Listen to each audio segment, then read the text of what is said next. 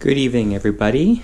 Um, it is currently, we are just about on the last little bit of preparation for our trip. Um, we're rehoming Rory. Rehome? Are we rehoming you? Yeah, we're rehoming him uh, for 12 days. Um, he's got a bunch of stuff that we're gonna send him. Um, and send with him, and then we've got his frozen food and his bed. You have this frozen food? Hmm? I did. Where is it? It's in the cooler. Because it's frozen food, so it can go in the cooler. You're. Um, and then after we get back, I don't know what else is left going on for tonight.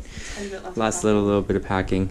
We have some Making sure the house is tidy so we Yeah. can back to not a hot mess. exactly. Okay, let's go rehome you, Rory. Yep, let's rehome you. Come on, let's go. Good pre noon, everybody. Um, we're just about uh, 20, uh, 34 minutes until we get uh, 34 minutes to noon. Um, I'm finally up. I've been relaxing because we got a long, long night of driving. Um, trying to make it down to Portland tonight so we can stay on track with everything. Um, I've had breakfast. Uh, the dishwasher is on. Uh, for the last time, I'll probably take that out tonight, later on this evening, whenever I get a chance. Um, it's really weird waking up this morning. Rory wasn't here. I'm used to having Rory in the bed in the morning, especially uh, like since I'm not working in the mornings. So it's kind of weird to see that. But uh, yeah, Rory's gone, and I forgot to put his bowl in, but that's okay. Uh, all of Rory's stuff is kind of just not here. It's kind of sad and like weird. I've never spent a day, I mean a night without Rory. I've been, I've had a couple of work days that have been away from Rory, but then I know that he's at home. It's just weird being with Leslie and being here and he's not home like overnight. It's just the first time this has ever happened. Moving on, luckily for us, uh, today is a really nice day. It's um, probably going to be about 10 degrees this afternoon, uh, if not pretty uh, later on this evening.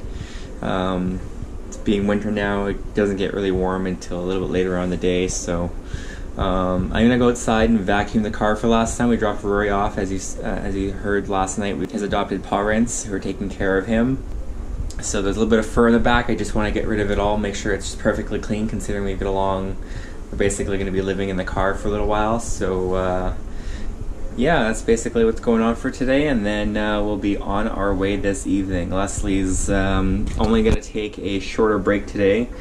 Um, she should be off work at four, so um, that way she's home for five, and then we can be out of here for hopefully for six, and fight through whatever traffic is coming.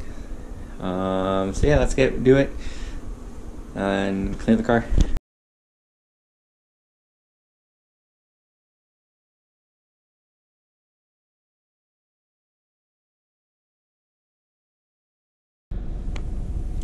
So we're just done.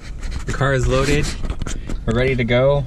And only four minutes before Leslie said that we should be actually be leaving. So we are good to go. Um, next stop hopefully will be gas. Not hopefully, but will be gas. And then Portland. Dinner. Dinner, yep. Jack in the Box. I'm just too excited. Alright, so first night. Leslie's having problems already. What? Yeah.